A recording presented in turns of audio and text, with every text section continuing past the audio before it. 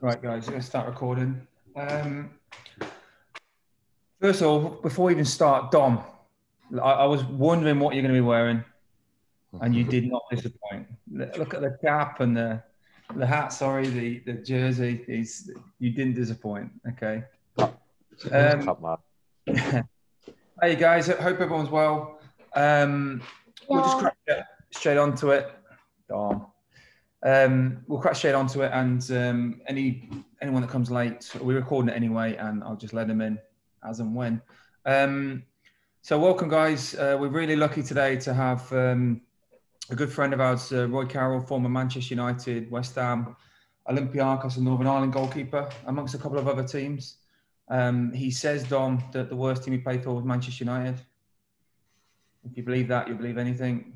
You didn't really say that um, so yeah, so um, we're going to go on. If it's all right with you, Roy, what we'll do, we'll start with, um, if you don't mind, just giving a little bit, I guess, a background of your career or summary of your career, and then I'll uh, I've got a few questions for you if that's all right, and then we'll open up to the group. And Dom's got about five thousand questions about all about Manchester United for you.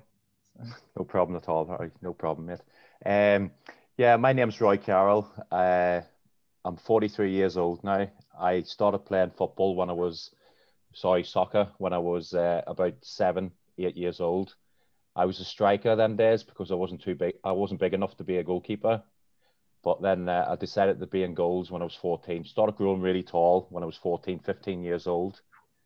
And then uh, I got my opportunity to go, to England. I'm from a country called Northern Ireland. It's a very small country. I don't know if anybody's heard of it from uh, from over there, but uh, it's a small country, so the opportunity for me to move to England at 16, 17 years old was massive for me because I always wanted to be a professional soccer player. And uh, I, I, went over as a, a schoolboy at uh, just turned 17 years old.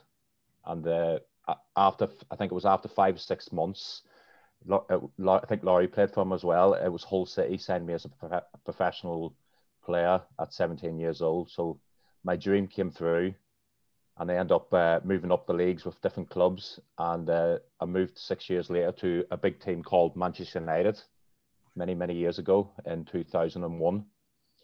And uh, I've played 72 games for Manchester United, won the Premier League, won the FA Cup, and uh, I really enjoyed my time. Met a lot of good good players. Everybody knows Ronaldo, don't they? Everyone knows Ronaldo. They're bound to know Ronaldo so I, I met Ronaldo, I met David Beckham, and uh, a lot of great players. The attitude of those players at Manchester United was unbelievable. The attitude of training, working hard, and giving everything you can on the training pitch to play on a Saturday is a massive thing in, at, at Manchester United. The winners and the the winners and the want to win games, and uh, even on the training pitch, they, want to win the little five sides. It's it's one of those situations when I went in and Roy Keane was the leader and he was the captain of Manchester United was fantastic. But things happened uh, for me after them four years. I end up moving to West Ham. Uh, was another Premier League team. Went to West Ham. It didn't work out. Didn't work out at West Ham. Then I moved up to Glasgow Rangers in Scotland. Then I moved abroad to uh, a team in Denmark and uh, a team in Greece as well. So I played quite a few teams over my career. And I played for a, a massive team in Greece called Olympiacos, and it was really, really good. Enjoyed the time right there. Nobody understood me though because uh, I was from Northern Ireland and they were all speaking Greek, so it was very difficult sometimes. but it was, um, it was marvelous, and I played, for, I played for my country 45. What? Uh, listen to him. Give me a, a, a, played 45 games for my country uh, for Northern Ireland. I made my debut at 19 for my country, so that was the biggest honour as well. Become uh, uh, playing for my country. Everybody loves playing for the country over this part of the world, and that was my one of my biggest dreams as well. So two of my big dreams came through, and I, I did dream for when I was 13, 14 years old, and I was quite lucky to get the opportunity to play in professional football and play for my country as well. So that's a little bit of the insight of my my career. It's been up and down. Sometimes you have good days, sometimes you have bad days. It's the way you bounce back when you have don't have the best of days. It's always bouncing back the right way. Never give up. Never give up. No matter how old you are, you never give up. You keep working hard, and uh, you can have the best talent in the world, but if you don't work hard enough, talent can only take you so far. And uh, managers and coaches want to see you doing really well for yourselves. Okay, Larry. Thanks, pal. Um, well, starting off then, so the first few questions we've got is, um, was it because uh, it's, it's obviously different in in the states, but was it a scary decision to move away from home so early on your own to try and forge a, uh, a football career, a soccer career? Uh, not at not the first time. Uh, I'm from a small village, like, and it was about seventy houses and one one grocery shop, like. So it was very small. Everybody knew everybody. But for me, was my dream was, as I said before, become a professional uh, soccer player, and uh, the opportunity to go to England. I, I, forgot to tell you a story, by the way. We lost the game five one when I was playing for the men's team. A men's team, when I was sixteen, we lost the game five one and a scout came up to me afterwards and said, Would you like me to go for a trial? Because we've seen your attitude in the game was unbelievable. And I said, just let five goals in. And he said, Roy, it doesn't matter. Your attitude was brilliant till from the f- first kick off till the final whistle. You didn't change your attitude. So that's another thing what that stuck in my mind at the time. But when I did move over to England, uh, for the first two months, it was it did get very difficult for me because I, I just stayed in my apartment uh, with my digs lady and uh, it was the family who was looking after me, and it was very difficult for me to go out and socialize with other people because I was from a small area. And uh, but my dad spoke to me about two or three months afterwards, and Roy, Roy, you have to stick it out because my brother had the opportunity to play in England as well, but he turned it down, and uh, that was that was my thinking in my head. I want to be a professional footballer like everybody else, and and uh, I don't want to throw this chance uh, away. And uh, I started going out and socializing and doing other things outside football. Um, and that was the main thing. What got me got me really going and talking with teammates and getting used to different uh, different culture. I know it was only across the water, like, but it's still a big difference from uh, a little village from Northern Ireland over to a big city like Hull. Hull. Hull's probably one of the biggest cities in England. Uh, when I was over there in 90, 95, I moved over 1995, which was a long, long time. All right, mate. Um, so you signed for um, for Hull City. You've left home. How long did it take you to get into the uh, to the first team squad and to, to make your debut? Well, I was um, I was in and out training with them, but uh, I think after I think it was after three months uh, because I was looking forward to go back home for Christmas because normally you have two weeks off over Christmas and New Year as you, as a schoolboy, and uh, the manager brought me in the office, the first team manager brought me in office, and he says, Roy, uh, we're going to put you on the bench for Boxing Day, and uh, and I couldn't wait, like, but I was homesick and I was still wanted to go home and see my family, but at at least was going to be in the squad. Uh, I think it was like uh, I moved over in October, so it was like three or four months I was in the first team. Um, at the time, the first team keeper was a lot of rumours about the first team keeper leaving, leaving to go to uh, a, a Premier League team at the time. So uh, he ended up leaving then after Christmas, and uh, I got my opportunity in the first team playing football and uh, play. I think my debut was 17 and against Swindon. I can remember clearly. It was uh, we ended up losing the game three 0 but it was still some experience playing playing your first game in English football. That's amazing, mate. Um, I know that well, a lot of the, the boys and girls on here know uh, Mike uh, Edwards. Mike is also uh, one of our ambassadors. Did you play with him that day, or was it around that period as well? Yeah, me, me and Mike. Yeah, he's a great guy. He was a Hull City. He's a young lad. Me and him was uh, in the same youth team at the start, and uh, it was great experience working with uh, Mike as well. And funny enough, I finished my professional career with Mike at Notts County uh, about four years ago, five years ago, and uh, it was a great pleasure to see him again. He's one of the top guys I've ever played football with, uh, not just on the pitch but off the pitch as well. Really dedicated to the game, which is fantastic from a, a guy like that. But we had a few arguments because we're teammates and we want to win games, and and that's that's just the way football was back in them days. We, we just wanted to win there, no matter what game you're playing, and uh, friendly matches or or uh, behind closed doors. You just want to go out and win games. I was going to say because I watched you a lot at Notts County, and yeah, you definitely screamed at him a lot. So I, I knew you must have liked him. Nah, no, big big Mike knows me, like, and I know Mike. You have to be careful in these this day and age because you have to you have to you have to know which ones you can shout at and which ones you can't shout at, and that's the truth. I came back to play in Belfast, my um, in Northern Ireland, and uh, I shouted at one guy one time, and he never spoke to me for two months. And I just thought, oh my word, I have to be careful this, this day and age. But the come here, you have you have uh, football, uh, soccer's changing a lot this day and age, and and uh, I became a goalkeeping coach now, and uh, I have to change my attitude towards uh, coaching as well because you have to adapt to everything in life. Hmm. I'm still mad in the head though. um, so is Chris. Don't worry about that. That's fine. um, Roy, so you um, you obviously got in the first team, started playing all the games, and then started to get linked with uh, other moves. Um, so how did the how did your move come about from Hull City?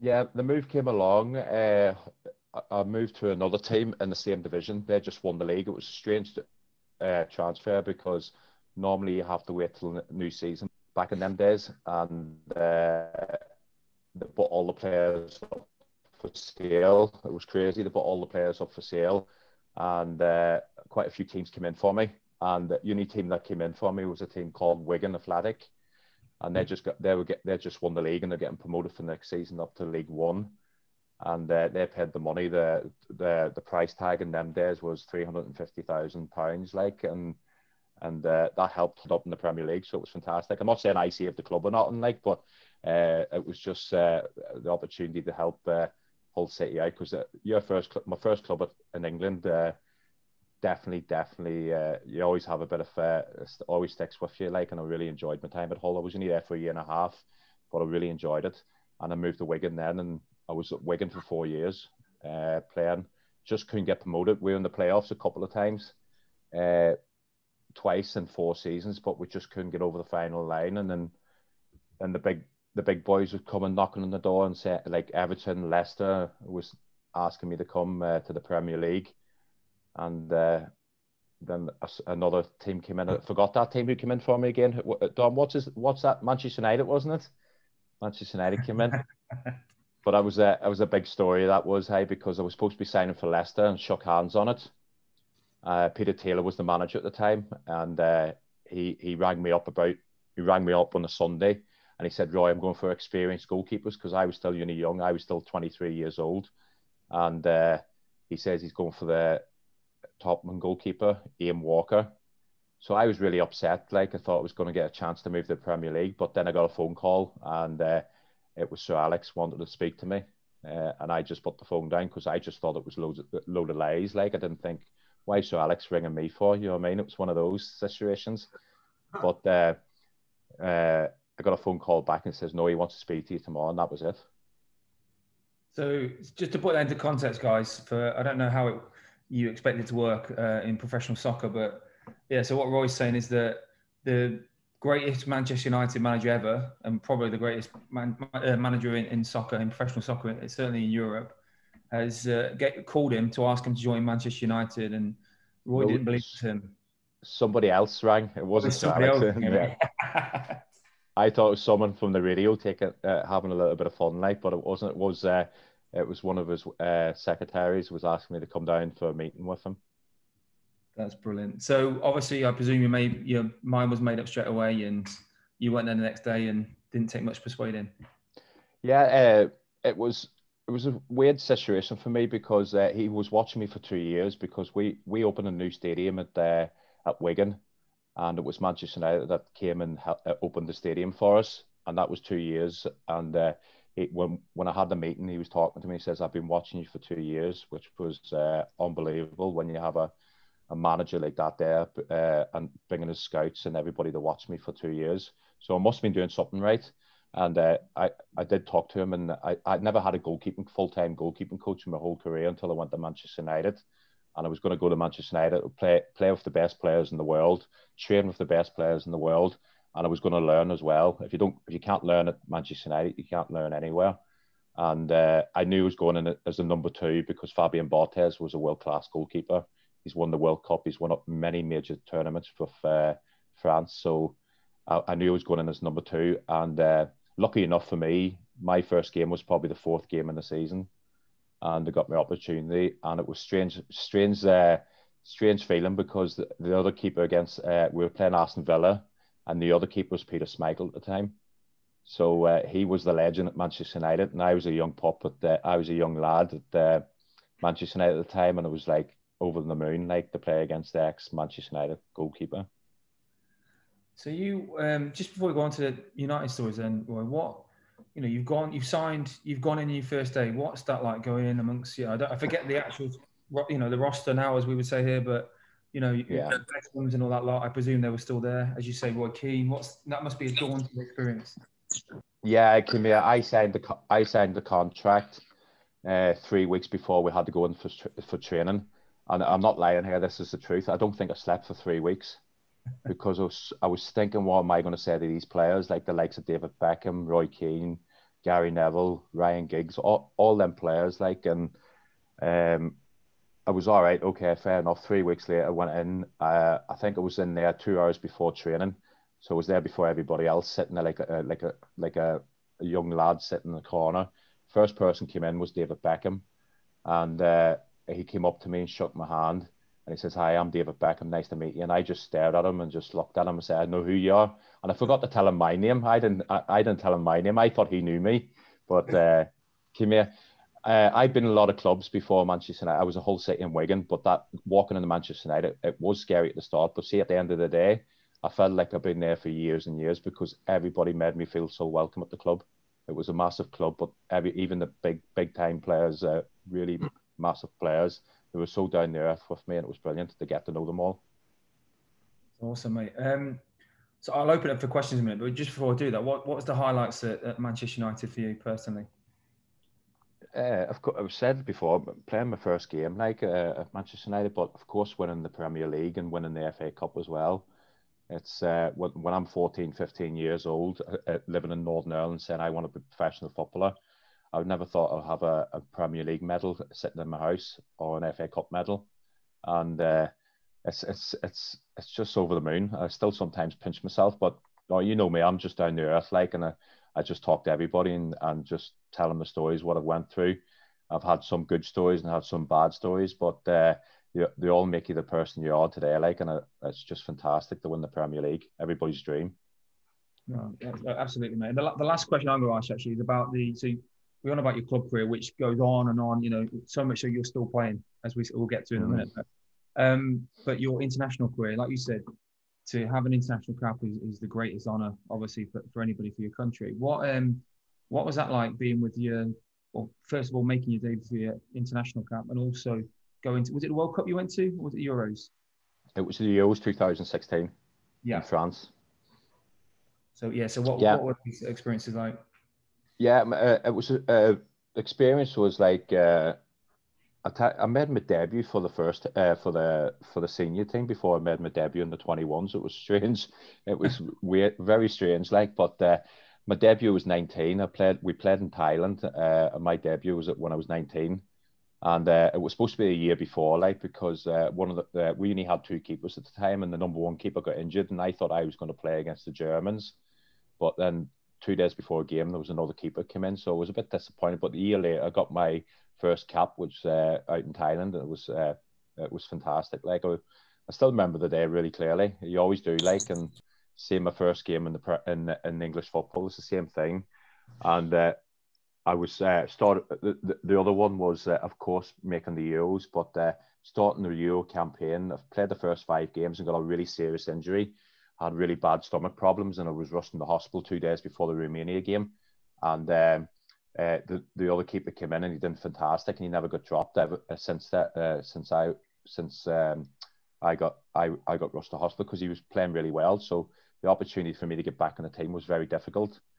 Uh, but it was still a pleasure for me to go to be sitting on the bench at a major tournament because we've, well, you know, our size of our country is so small, yeah. like, and to, to, qualify for a major tournament in, in international football was massive for our country, and uh, uh, when we lost the game against Wales, I had a little tear in my eye, just thinking to myself that this is the this is what we were all dreaming of to be be in a major tournament like, and it's it's it's it's a great honor to be playing football like or soccer uh, uh, for your country.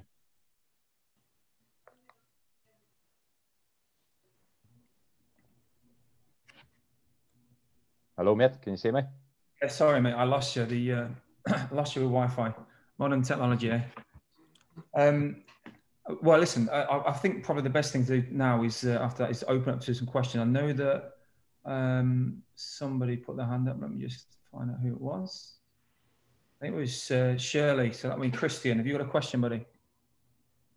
Uh, yeah. Uh, I have a question. Was it hard was it hard losing to a other national team, or was it kind of easy to get over with? Lo- losing? Yeah, it's no. like to a national team, or like losing a really big game. No, was it's it never like... easy. It's never easy losing the game. Uh, I was brought up. I was brought up like uh, try and win everything you can, like, and it's just a, it's just a mentality I had when I was a young boy, and uh, it's just been stuck with me for my whole career. Uh, I never I never like second best, but uh, sometimes if you work hard and your whole team played hard and played well, and you end up losing, uh, there's nothing you can do. You know what I mean? It's just one of those games. You can't do anything else. Uh, I remember playing for in the FA Cup final against uh, Arsenal in 2005, many many years ago, and we were we were all over Arsenal. We couldn't score, and end up going to penalties, and we lost on penalties. And there's nothing you can do on that. It's just it's, it's just a lottery. But sometimes it's it's never easy. I it's never easy losing. But sometimes you have to just take it on the chin. Sometimes, don't you? Yes. Definitely. Yeah. And just so you guys know, um, when I rang Roy up yesterday, so he's still playing now. Okay, so he played as he said he plays for uh, Dungannon. Had a game yesterday, lost three 0 And when I spoke to him, it was probably no more, no less. Was still gutted as he would have been after the Arsenal game, I'm sure. So probably to answer your question, Christian, every game, nobody likes losing, and and Roy is a, definitely a testament to that. um, That's right. right I've got me. My wife, uh, every time uh, my wife, uh, she says, uh, when you lose a game, she just stays away from me. okay. yeah. My wife says that, and I don't even play anymore. a question. Um, Sam, I'm, I'm actually, he's, he's, written a thing out, but if he's comfortable to come on and speak, he is our goalkeeper and he is yeah. 82 foot tall. So if, if Sam, if you'd like to come on and ask your question, uh, please unmute yourself. Okay. Good lad. Sorry, my dog's barking. Oh, it's okay. It's okay, Sam. All right, Sam, fire away.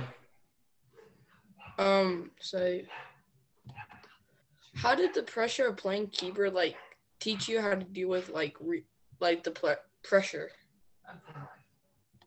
Yeah, um, see, I, I don't call it pressure. Um, uh, I just uh, have nerves. I get nerves, but I, I never put myself under pressure just if you put yourself under pressure and you think too much uh, bad thoughts, like and don't use your nerves in the right way, that's that will that will put you the, uh, in the wrong step to go forward. You know what I mean? But uh, pressure, you should be enjoying uh, you should be enjoying football or soccer or being a goalkeeper. Uh, it's uh, a lot of people talk about pressure. Yeah, there's pressure in life as well. Like, but for me, it was I was I just enjoyed being a goalkeeper. You make you're gonna make mistakes we're going to make mistakes. We're, we're, not, we're not robots. So uh, what I've learned from over my career uh, since I was a young lad was to uh, go out and enjoy it, but use them nerves in the right way.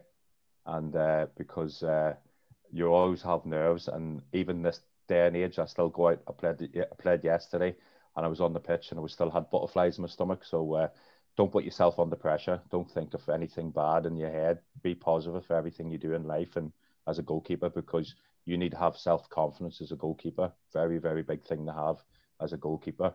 Self confidence is the main thing. If you lose that confidence, uh, you just have to keep working and training and get that confidence back again. Okay. Yeah, I think, I think that's you. a good point as well, uh, Roy, because Um, Sam's, as I say, is uh, is our goalkeeper. He's only just started playing in goal. So, is there any, you know, obviously you said about confidence. Is there any advice you give to any young goalkeeper kind of starting out? Yeah, this day and age, it's, uh, it's more it's more like playing out from the back with your feet. You have to be very good at the ball at your feet, so and uh, you have to be really agile as well. It's just a uh, goalkeeping's changed completely, and uh, if you can work, uh, Sam, how old are you? If you don't mind me asking, how old is he? Sam. 11. 11. So it's uh, it's a good age. Like so, if I was you, I would just work, work, work on your feet, work, uh, agiles, and hopefully, if you get a goalkeeping coach, and hopefully one day I might come over and coach you. And uh, it's all about technique as well. At a certain age, when you're a young goalkeeper, it's really, really important to have good technique. But uh, if at the meantime, do a lot of ladder work, a lot of feet work, a lot of ball, uh, ball work with your feet, and then hopefully in the near future, I could come over and co- uh, coach you technique and stuff. Fingers crossed. Okay, Sam. Thanks. Good lad. Fantastic, mate. Um, Tom's put. Can I just say something about Sam while we're on there, Laurie? Sorry to interrupt you, mate. Interesting, Sam saying about pressure there. That was his question initially. And Sam, Sam always, I'm surprised because Sam always plays with a smile on his face, even though he's just started and he does make mistakes like all of us do on the field. You know, but he, he doesn't give away that he's he's feeling that pressure. So good job, Sam, and uh, you know because it's a it's a difficult position to play in. If you do make a mistake, you know it often stands out more than everybody else. But uh, but Sam does play with a smile on his face, and he's got he has a great attitude. So I was yeah. surprised about that's, that. That's what that's what it's all about, though, Chris. Good attitude, you know what I mean. But some keepers don't come out and speak about the the pressures uh, if they have pressure. But for me, uh, when I coach goalkeepers in Northern Ireland, I says like you could be the happiest guy ever, but they've still got a lot in the head. They have to come out and talk about it and talk to the coaches and uh, get it out of uh, out in the open. And uh, Sam came out and said about pressure. Yeah, fantastic. At least now we can work on that. And and uh, like what I said to him, it's uh, use it in the right way if you can, like, and don't put yourself under pressure. Good lad, Sam. Yeah, yeah. Well. I'll turn the video off. Oh. um, right, we've got uh, Tom says, My dad wants to know if you've ever got the hairdryer treatment from Sir Alex. So before you answer that, Roy, probably just best to tell a lot of the boys and girls on here the hairdryer is basically Alex Ferguson, the head coach you were talking about before, screaming in your face as loud as possible. And um, so that is the world famous hairdryer treatment. So, Roy, were you on the end of that much? I was. I thought it was going to be. Um, remember playing a wee game against Spurs at home, and uh, the ball nearly went over the line. None of these, none of these young children uh, could remember it. Like I can't even remember it, but people uh, always bring it up. Like, and it nearly went over the line, and I scooped it back. And uh, you haven't got the video. Have you got the video there? No. I can. Uh, you, can you get the video? Do you want me to have the video, or do you? Put it up and show the kid, show the kids. Like, and, kids. Wait, no, one second. I so so that's why I thought I was going to get the hair dryer treatment. I was nervous. It took me a long time to walk off the pitch anyhow. It took me about 10, 10 minutes to walk off the pitch. So, guys, um, can you get it? Look, I get it up. One second. Let me just share the screen. So this is when Roy says it was um, nearly a goal. yeah, well, put it this way: there, I've just searched it, Roy, and it says um, what the topic is Roy Carroll goal that never was. Okay, so you can decide whether that's. Uh, I'm just going to share it to everyone. Here we go. Share. Here we go. Can everybody see that? Here we go. Yeah. I know. Silvestri. Ja nyt puolesta kentästä ratkaisuyritys. Roy Carroll! Oh, it's a bit blurred. You might sit in a different angle right now. It's clear. Selvästi maaliviivan takana ja kyllä nyt on You got it. Aivan rajan, rangastusalueen rajan välittömästä läheisyydestä vapaututtua. Katsokaa, katsokaapa tätä. Lloyd Carroll hukkaa pallon. Never over the line. Look at it's not over the line. So as you can see, it was um, very, very close to uh, potentially being one. Clean um, sheet. Clean sheet. But uh, that that was the incident uh, where I thought, oh, here we go. I'm going to get in a lot of trouble with uh, Sir Alex. And uh, I went in the changing rooms 10 minutes later after the final whistle, just walking really slowly. And I sat down, hands on my head. And so Alex said to me, What happened? And I, uh, we, I called him boss, came here, boss. Of, uh, took my off the ball. I was going to throw the ball out to Gary Neville to my right back. And uh, and, he, uh, and I just took my off the ball and just went over my shoulder. And he turned around and said, "Great reaction, though. Uh, I never gave up. Never gave up. I could have just given up and let the let the ball go over the line, which I never and kept it before kept it out. Yeah, and I, I think joking aside, that's the you know that that's the best part about that. I know we've spoken about this before, but you know how many people sit, stand there, you know, put their head in their hands and watch it go in, and like you say, even when it's behind the line, you you know it'd be easy to stop, but you didn't, and you reacted, and you know you almost earned your luck, didn't you, on that occasion? Uh, Oh, it wasn't a goal anyway. First goal, if it had been, goal, go- yeah, yeah. But but when there's seventy thousand Manchester United fans there watching, you have to try and do something, don't you? Okay. Um, so, um, eh, Chris, eh, uh, I've only got names. Sorry, Amy. Is that um, Vincent? Yeah. Yeah. Yeah. Hi, buddy. Do you want to ask your question? Uh, yeah. Go When did buddy. you start seriously training as a goalkeeper? Yeah. Uh, see, I went in. I went in goals when I was fourteen. That's what I said before at the start. Uh, was uh, I started growing at fourteen. I was going in and out, in and out of goals because when the keeper got injured, I went in. But uh, I was a striker until I was fourteen. But then uh, the, the goalkeeping training never had goalkeeping training in my country. So I just learned from uh, my dad. My dad was a goalkeeper, so I used to watch him a lot, and I just watched uh, goalkeepers on TV. And then when the serious goalkeeping happened was when I was 23 years old. When I went to Manchester United, that's when I got full time goalkeeping training every day, and I was quite lucky. I had I, I was quite natural as a goalkeeper, but as I said before to young Sam, like my technique wasn't there, and uh, at 23 I was still learning my technique. Uh, so it took me a little bit longer because I had really bad habits uh, when I got that age. So uh, started off started off in goals at 14, but I never really got the proper training uh, attitude with, with a goal, full time goalkeeping coach until I was 23. Great question though. Uh, it is a good question. I find it amazing that you Mm. got to Manchester United and had never had a goalkeeping coach until that point. Incredible. I had I had co- goalkeeping coaches like probably once or twice a month. It wasn't like Yeah. every day like in England. But uh, you know yourself back in them days, it was like uh, just the top league that had full time goalkeeping coaches, and uh, any everything else down below. But now I think every club in England has goalkeeping coaches, which is brilliant for the younger keepers this day and age. Definitely. Um, Jake's got a good question. Uh, I'm a centre back. Uh, so, what can I do to help my goalkeeper? Um, I just think it's uh, for me personally. When I'm a goalkeeper, I I give them a lot of advice. I get talk to them, but uh, for me, um, just information. People, I talk to the defenders. Defenders talk to midfielders, and it's it's just good information on the pitch, and that will help you in a long way because it's uh, you see the whole players in front, so you have to talk and give good information to players players in front of you.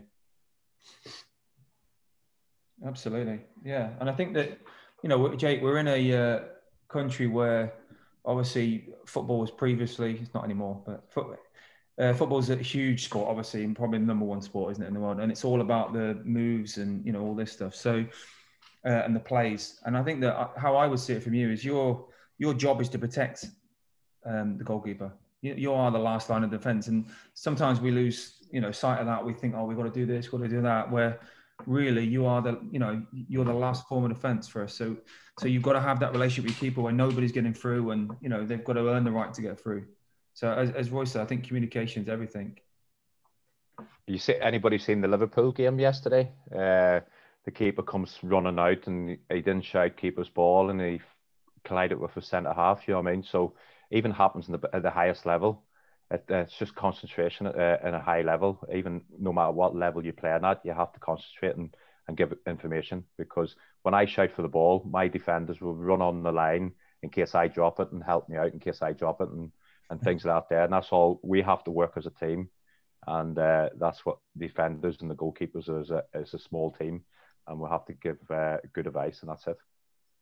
brilliant thanks mate good question jake um, dominic i'm not letting you get away with um, texting the question. You've come in the full gear, so I'm going to need you to unmute yourself so you can ask the question. If that's all right, buddy. if you want to, anyway. What's the hardest spot to block a shot? Which is the hardest? As a goalie, uh, is it low shots, high shots, corners? What's the hardest to Oh. defend as a goalie? Very good question, Dominic. Good, good question. That is for me because I'm six foot three.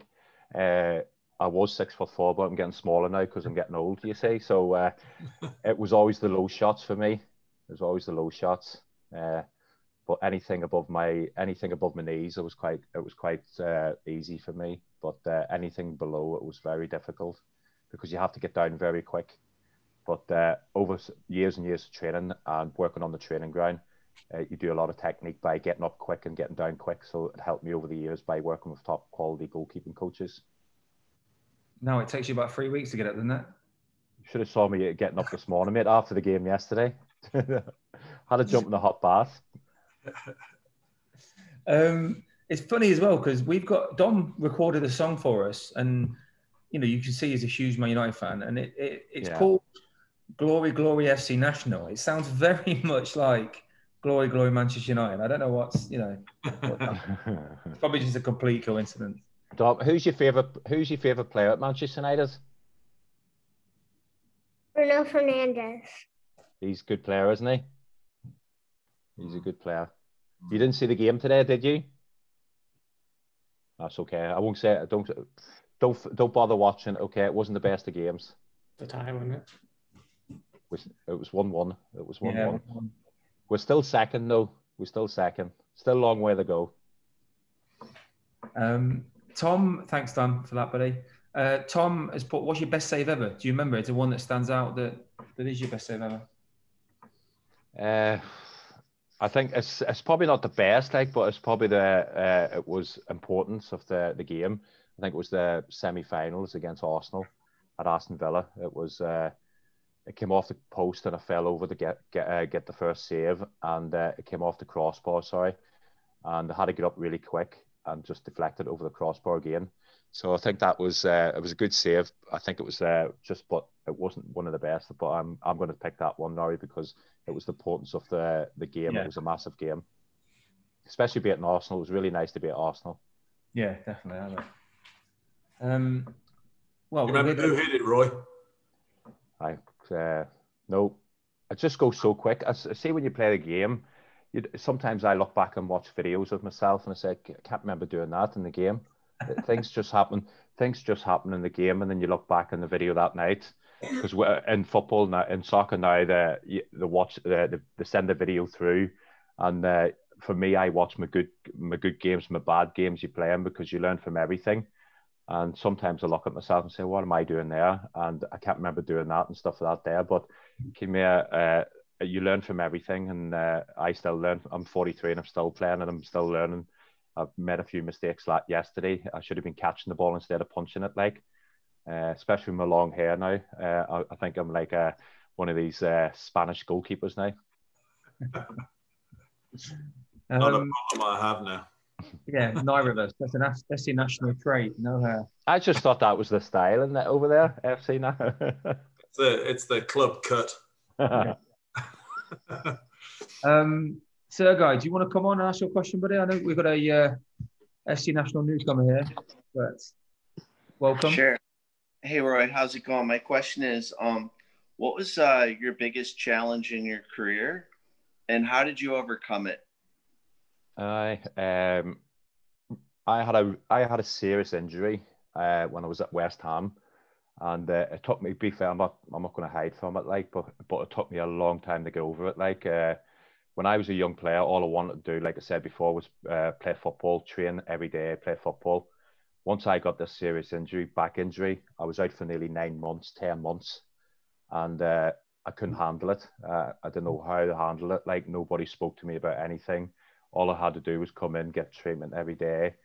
Uh, just missing the game, missing playing. I was a bit selfish uh, because there's a lot of other people out out there who uh, had serious injuries and couldn't come back playing football. But for me, I didn't see that. I just seen the bad things. What's going to happen to me? Am I going to get back in? And I got really badly, really bad depression, and I was fighting it for years and years and years, and that's that's how I ended up playing in Greece because I had to go away, uh, go away from my family and just change my lifestyle all over again because the depression got so badly for nearly four years. And uh, I was lucky enough to get another chance to play football again because I was out of the game for so long.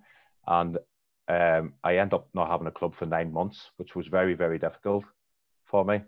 And uh, I just fell out of love with football, which was very difficult. Was uh, for me always was my dream to be a footballer.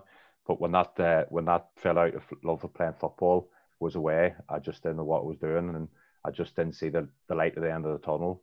And lucky enough, I got my life back on track and came back playing again, and uh, um, got back playing for my country and playing in Champions League football and Europa League football again, which was fantastic for me. But that's what I was saying about you get ups and downs in football, and and for me now, I try and tell young players like you're going to get injured in foot in soccer. You're definitely it's it's a, it's a parcel of the game. Like uh, it's contact sport. You're going to get injured, so be mentally prepared for little things like this here, or even if you have something else outside soccer. Because all my life was to be be a professional soccer player.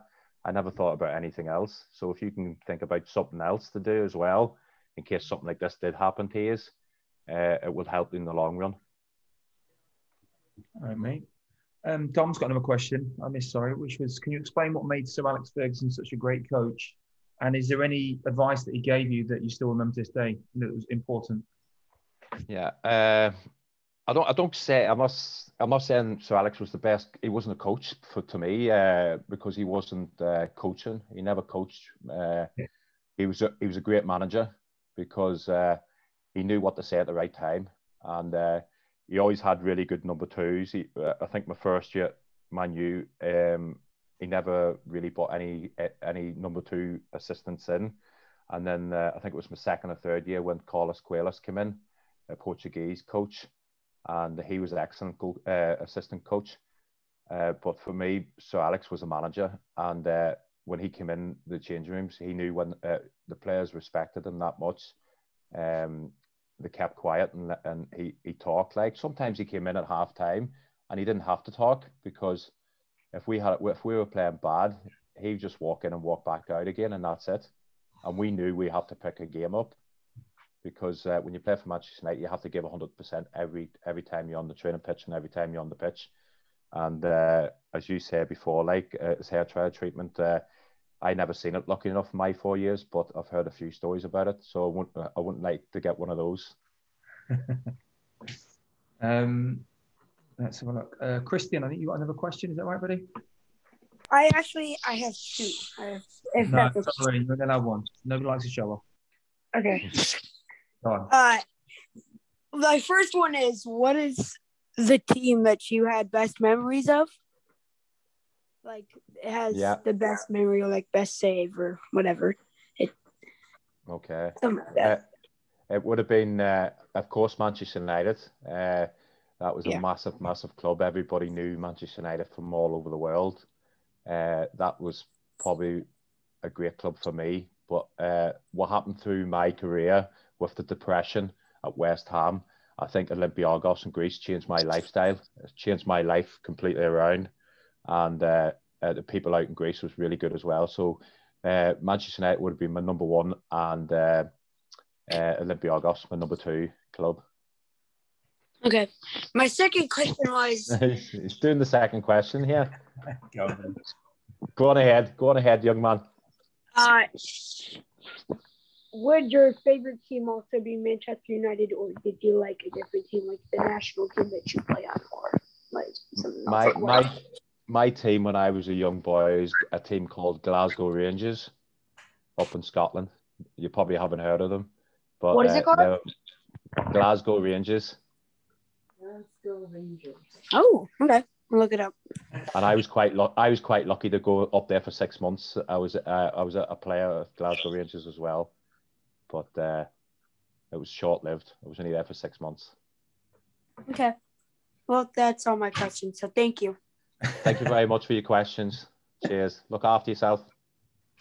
Um, right, mate. Just last couple, that's all right. And then I'm conscious of the time. Um, no Jake's, but do you? Well, this will probably be more about Mikey because uh, you've known him for a lot longer. But do you have any funny stories about Laurie or Mikey Oh, that you can tell? I can't tell. No, no, not not serious stories. No, it's just. Uh, Hey, I turned my Nice. camera off. Have you? I turned it. No, no stories with Mike. No stories. Can't say. um, you, Christian, one sec. Uh, Um, come on, Chris, go for it. Yeah, uh, Roy, I, I was just want to go back to something he said earlier on because we've been talking. It, it's put good timing because we've been talking to the boys and girls about attitudes in training and training the way with the, with the same intensity as you would play a game. And you mentioned it earlier on when you got to Manchester United, and probably all the all the clubs are pretty much the same. But how serious did it get in training at Manchester United? You know, how, how intense was it in practice? Oh, it was very intense, very intense. Like it's uh, the first the first day I came in. Like I tell you the truth, like um, my first season, I was that tired. Not not just uh, fitness tired, I was mentally tired as well because of the the high intensity of training. And after that first season, I think I must have slept for nearly a week because uh, it was so it was so high intensity training. Uh, every day you come in, you're given hundred percent uh, in training the players who don't play on a Saturday, we, I think I was in, I think the whole season, I probably only had four weeks off the whole season because we were playing so many games. So you're playing like Saturday and maybe Tuesday or Wednesday in the Champions League. And the players who don't play would have a, would have to do an extra work. And the players you did play would come in and just do a cool down. But that would have been seven days a week. Um, we'd be lucky to get a, a, a day off like during the week because so many games. But the, the intensity was really, really high. And the other club where I as I said before, was Olympiacos, which was I never seen this before in my career until I went to Olympiacos. Uh, there was a there was a manager from Spain. He became the Barcelona manager, but when, before he went before he went to Barcelona, he was the Olympiacos manager, and we only trained for forty five minutes, and it was pure pure intensity training for forty five minutes.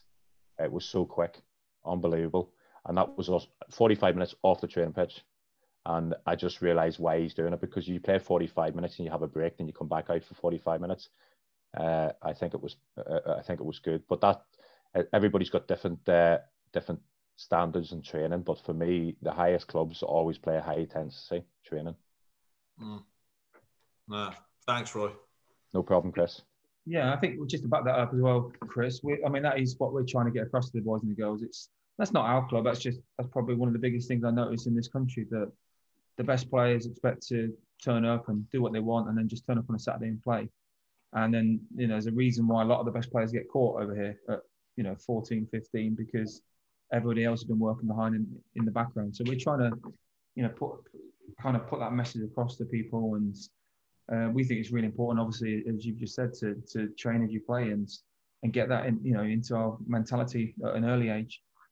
Yeah, no, I think I think the main thing now with football is all about is like it's it's a work work ethic and training. Uh, people uh, uh, like these young players will come in later on next two or three years and do extra training, do extra work. Uh, don't just uh, just don't go to go higher. Make a limit in the next month to go higher, go higher, go higher, and push yourself as far as you can. Because uh, if you just want to stay at the same level the whole way, you know it's going to be very diff- difficult for you but coaches and managers want to see young players with full energy coming in the training half an hour before training and do young warm up and get stretched before training. Uh, what I'm trying to say to the young keepers over here in Northern Ireland is like they turn up like two minutes before training. I said, no, I want you in half an hour before training because you Yeah. have to do your warm up, get your stretching done, and then we're on that training pitch for 11 o'clock and that's us, that's us done. I got that from United because them players used to come in an hour and a half before training. It was just so unbelievable, uh, professional what these players and these players were on a lot of money. They didn't have to do it, but they wanted to succeed. They wanted to, to go as high as they can in the in the career and they want to go further. That's why Ronaldo's still playing at 34, 35.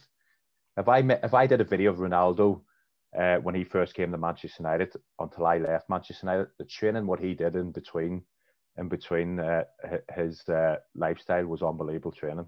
Everything's worked around his soccer, and that's what you young lads and young girls have to try and do and give everything you can because it goes so quick. Trust me, it goes really, really quick. You think you're young, but uh, it goes really quick. But you enjoy it. You need to enjoy it as well. That's the main thing. If you don't enjoy the soccer, uh, it's, it's very hard uh, to stay in love with the game.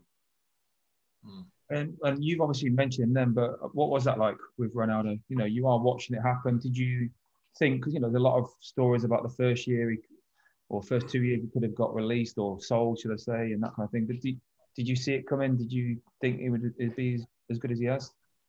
Here. I when we, when we came back from America, we had pre-season in America, and we dropped off and uh, uh, out in Portugal, play Sporting Lisbon, where he was playing. I think he was 17 at the time, and he was just unbelievable. He had the skill, he had the talent, but he didn't have the strength. And uh, when he came to Manchester United, he couldn't even speak a word of English. And the dedication of that guy, after two mon- months at Manchester United, he started speaking English, and uh, he, he was be- speaking better English than me. And uh, see, see Uh-huh. the, the the biggest the, the biggest thing for him was like uh, he had to put weight on because he was so he was that skinny and he was getting knocked all over the place in English football. But he built that. He worked. That's what he did. He worked and worked in the gym nearly every day to get that strength. And you see him today. What what is he? Thirty four now. Thirty five. Yeah. He's still play, He's still playing a high level at Juventus. He's he's incredible. Everything. He has a swimming pool. He has gym. It's not for show. He uses it because that's what it's all about. His lifestyle was all about his, his, his career as a professional soccer player. Yeah, that's amazing. And, and as you say, fair, fair play to him. But, you know, he deserves everything he gets out of it. Yeah, true. Um, all right, mate. Uh, Chris, any last question? I was. Uh, who called you about you? The uh, who called you when you got selected for Northern Ireland? How did that happen? Did you get a phone call, a text, or email? Uh, What- how does in that them, work? in them days, you, you got a letter. You get a letter from the cl- uh, the club to the club, and uh, you say you're on. Uh, I was on standby a few times, and then uh, uh, when I was like, uh, I think it was 18, and I got uh, the call up, uh, you're in the squad, and that's how you. It was just a letter. This day and age now, it's that the manager might ring you up. He, he ring you up and say you're in the squad, and then about a week later, the the they announce all the time then uh, on TV and on the radio, wherever. But them days it was just a letter here. Uh, there you go. You have to you have to write a letter back and say, yeah, I'm okay. I'll be okay to come. There's no mobile phone, no mobile phones them days. Yeah, I bet you still got that letter, haven't you? uh, come here. The club has it. Does it? Yeah, the club has it. How about that? Really? That's I wish amazing. I, I wish I kept it. Mm, Yeah, nice memories, definitely. Um, yeah, good one, mate. We do. Cheers. Sorry, one last question is from. Let's have a look. Alistair, do you want to put your? Do you want to ask the question, Alistair? Do you want me to read it? No. No, you want me to ask it? Okay, All right. Are you, are you wearing your shirt, Alistair? Yeah. No, I thought Nice. he was. I thought he was. I'm was. sorry. An accident. I didn't mean to. Ouch, just looking at- Christian, Christian, Yeah. you're on. We can all hear you. Oh my bad. I accidentally dropped the phone. That's all right, mate. Just put it on mute one second. I'm going to ask Alistair's question. How do you not run out of energy? Alistair says, because Alistair's a very. Uh, What position is he again? Alistair, well, Alistair plays up front. He's a striker, and uh, he is very much run the channels, running behind all day. Was was Alistair over here in Nottingham that time I was over? no, No. Alistair, no, no, no, that was Andrew. Was it That was Andrew? Yeah. So yeah, so he's wondering how you, you know, you're on about the intensity of Manchester United and that. How how do you not run out of energy? I think, you know, I'm presuming the answer is your lifestyle around outside of it, but you know, to what degree and how do you work that out? I, I think uh, with uh, behind the scenes you have uh, uh, you have people who talk to you about your diet, uh, what you should do after games and before games, uh, which helped me a lot as well. But uh, as I said, the first year was very difficult for me because it was completely different. Uh, coming in from a, a lower lower standard of football up to the high standard of football. But uh, I think everything what Manchester United did was they looked after you, they looked after you really well with the di- uh, people talk, doing your diet and keeping your fitness in the right way. And you have your personal fitness coach as well. And uh, you have masseurs, you have massages before training and after training. So uh, when you're when you're a massive club, uh, they can bring people like that in. So uh, it was quite easy to get used to it. It's like anything. If you keep working and keep doing things, you go to a different club. It might take you a couple of weeks. It might take you a couple of months to get used to it, but you will always get the get the hang of it as soon as quick, uh, yeah, as quick as possible. Sure. All right, mate. Uh, and the actual very last question is something that I'll answer, and that's from Vincent. How was it financially as a soccer player? So you don't need to answer this, Roy. Vincent, you were very, very good, um, and hopefully in ten years' time, we'll be you, you'll find out for yourself how good it is. Okay. um, Roy, thanks ever so much, mate. I know it's late there. We really appreciate your time. Um, thanks for giving the insight to all of the players and, and giving it your time. So, uh, good luck for the rest of the season, buddy. And as I say, hopefully we'll get an opportunity to get you out as soon as the, the travel ban and everything, visas, etc., open. We'll get you out and uh, we'll get you working with uh, with Sam. All right, buddy. Cheers, Larry. I wish you all the best. Take care, everyone. All the best yeah, now. Thanks for doing this for us, Roy. Appreciate it, mate. Bye bye. Bye bye. Cheers. See you.